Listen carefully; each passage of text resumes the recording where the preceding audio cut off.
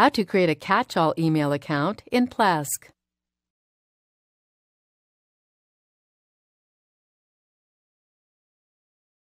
This demo assumes you've already logged into Plesk. Now let's learn how to create a catch-all email account. Click the Mail tab.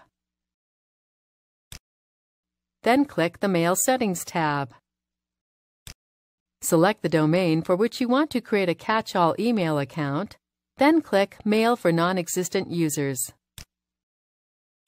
Click the Forward to address option then enter the address you want these emails to go to.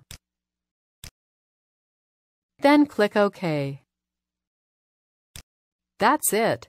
Now when someone sends email to an address in this domain you haven't set up, that email will go to john at mybiz1234.com. This is the end of the tutorial. You now know how to create a catch-all email account in Plesk.